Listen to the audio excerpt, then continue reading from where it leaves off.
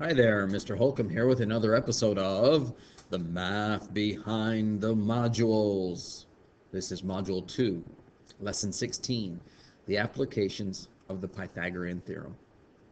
Okay, so example 1 gives you just that, an example, and it's already all done. And what we were trying to find was this side here, which is B. So I'm just going to review the names of the angles. So if B, side B is opposite angle B, um, 5 squared is what they're calling A. So here is A, side A. So therefore this is angle A. And then C is our, always our hypotenuse. Lowercase c for the side name, capital C for the angle name. And that is the setup of the triangle, where the angle, the right angle is always capital C, and the side opposite, which is called the hypotenuse, is always the lowercase c. And then over here was the calculation to find that b equals 12. If you need to pause the video and look at that solution, do so. I'm moving on to exercise 1 and 2. So here's a new triangle. One says use the Pythagorean theorem to find the missing length of the leg in the right triangle. So the first thing I do is write the formula. It's always the same. a squared plus b squared equals c squared. c squared is my hypotenuse every single time. Don't ever forget that. That is the side opposite the 90. So my 25 is going over here. So I'm going to write 25 squared here. Do not ever put the 25 or the hypotenuse as a or b. You will not get the right answer. Okay, so there's 25 over here. Then a and b don't matter. So if I choose a to be 15, then that will be 15 squared plus b squared equals 25 squared.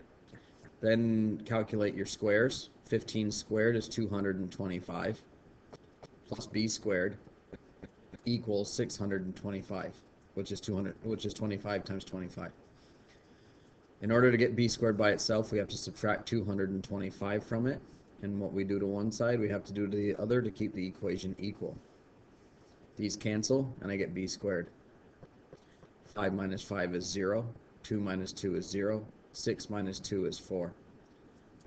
And then we finally take the square root of both sides.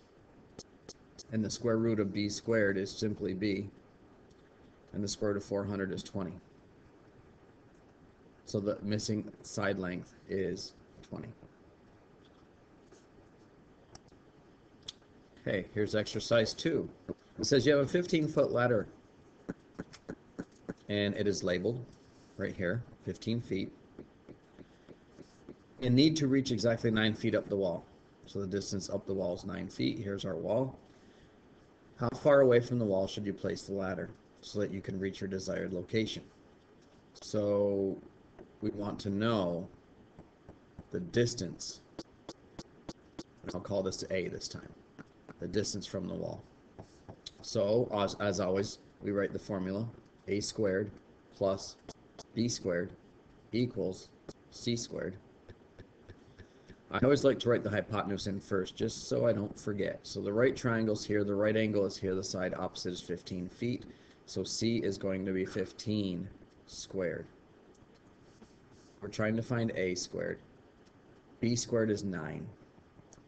So here's our setup. First thing we do is simplify. So a squared plus 9 squared, which is 81, equals 15 squared, which is 225. I'm going to subtract 81 from both sides. And these cancel, and I get a squared equals 5 minus 1 is 4, 12 minus 8 is 4, and bring down the 1. This happens to be a perfect square, and when I take the square root of both sides, and I get a equals 12. Now, here's where I'm going to start paying attention to unit of measurement, and I'll put it in at the end rather than having it all the way through the equation. But just keep in mind that we are talking about a unit of measurement here, and the answer is 12 feet. Okay, exercise 3. Find the length of segment AB if possible. All right, so here, if I draw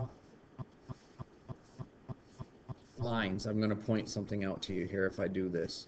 If I just draw a line at A, that's right here, and then if I rotate this vertical and draw a line here,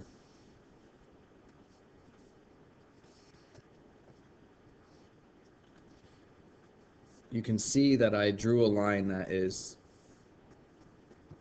coincides with this side here, which is side B. This is B, opposite capital B. This here is the side opposite A. So this is side A. Okay. Let me just change this color to green. Keep this one color coded.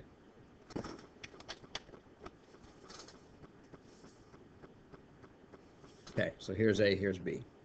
We're trying to find side C, which is the hypotenuse. So the formula is, uh, let me keep the colors.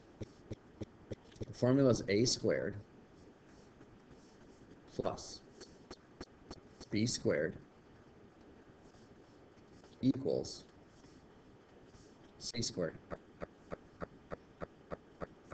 So now I just need to count when we're on a when, when we're on a um, coordinate plane. We need just need to count the distance. That's one, two, three, four. It started at one and went to five, so that's a difference of four. So a is four squared. B is my horizontal distance. So from 2 to 5 is 5 minus 2, which is 3. 1, 2, 3, which is 3 squared.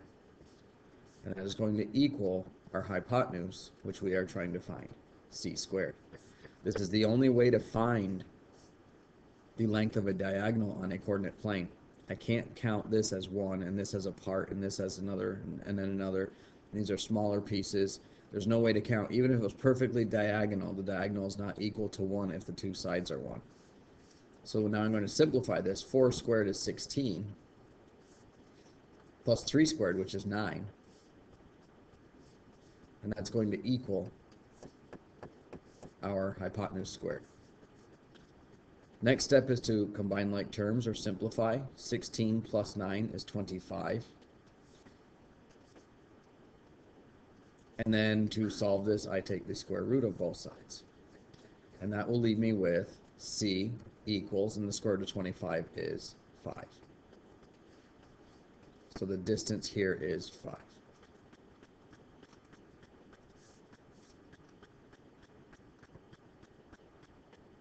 Okay.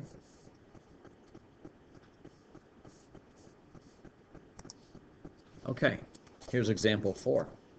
Given a rectangle with dimensions 5 centimeters and 10 centimeters as shown, find the length of the diagonal if possible.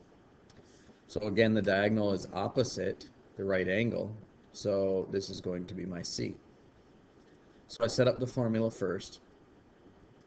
A squared plus B squared equals C squared.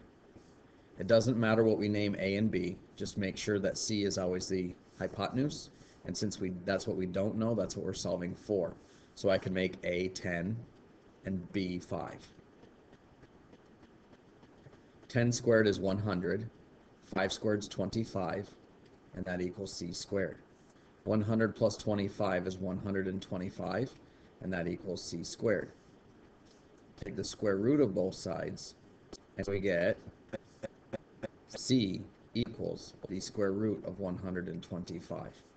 Now I can try to simplify a perfect or a square root, see if it's a perfect square. Now I know it's not a perfect square because 11 squared is 121, and this is just a little bit more but I would like to always try to reduce this if possible. So I do a factor tree. 5 will go into 12 two times, the remainder of 2, and 5 will go into 25 five times. So that's 5 times 25 is 125. Well, 25 is 5 times 5. And whenever we're doing this, think of the square root of 125 now is the same as saying the square root of a perfect square, which, which is right here, which is the square root of 25, times this 5 right here. I'm not gonna go any further here because 25 is 5 times 5. But if I take the square root of 25 times that other square root of 5, that would equal 125. And that will simplify 25, the square root of 25 is 5, and then leaving us that radical 5. So that simplified would be 5 square root 5 equals C. Okay. If you left it like this for now, I would accept it unless it says simplify the radical if possible, then you should do that. Okay, number five. A right triangle has a hypotenuse of length 13. So the first thing I would do is draw a picture of this and any right triangle knowing that it's not going to be drawn to scale and I'd put 13 for the hypotenuse. Hypotenuse is opposite the right angle and a leg with length of 4. So I'll call this 4 inches. So we're talking about inches here. So I need to find B or A. Doesn't matter what we call it. Okay, so we're going to set up the formula. A squared plus B squared equals C squared. Remember the hypotenuse is 13, so I'm always going to put that in first so I don't mix it up. And we can call A 4, and we don't know B. Simplify. 16 plus B squared equals 169. Subtract 16 from both sides. And 16 minus 16 is 0, leaving me with b squared equals 9 minus 6 is 3, 6 minus 1 is 5. Bring down the 1 and I get 153. In order to simplify this further, we have to take the square root of both sides. And that will lead us to square root of b squared is b equals the square root of 153. If I come over to the side here and try to simplify this, I know 3 will go into 15 five times and then 3 once. But 3 is prime, 51 is prime. I don't have any pairs, so I cannot simplify this. So this is my answer. But then again, we also want to keep track of what we're talking about, and that is the square root of 153 inches. Number 6. Find the length of B. B is here. C is my right angle, so therefore 11 is my hypotenuse.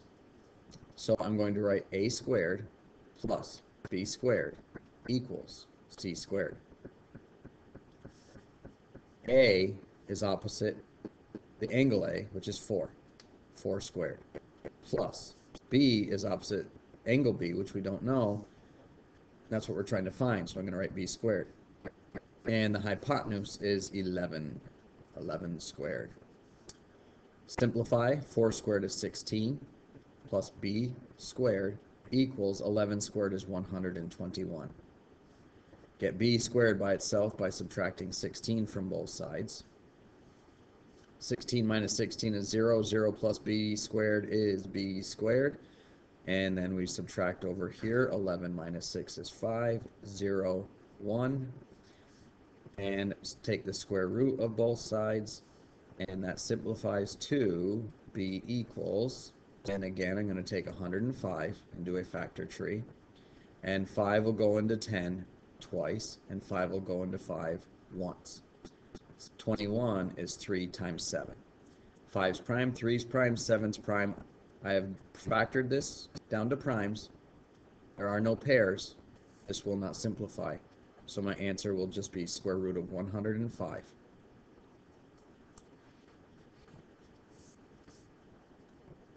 Okay, that is the end of lesson 16 and the end of module 2. Go do your problem set.